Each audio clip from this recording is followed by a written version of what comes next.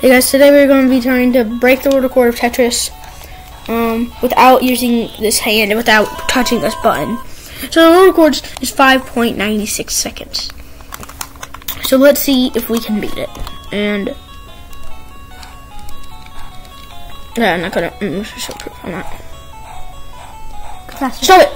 Ah, dang. 60, 6.64. 44. Alright, three. And Wait, wait, wait. Alright, you started, right? Stop! Woo! 5.36 seconds! Proof on camera. We got it, we got it, we got it. Proof on camera. Game is over. You guys heard the noise. That's when Isaac stopped the time. You're freaky kidding me.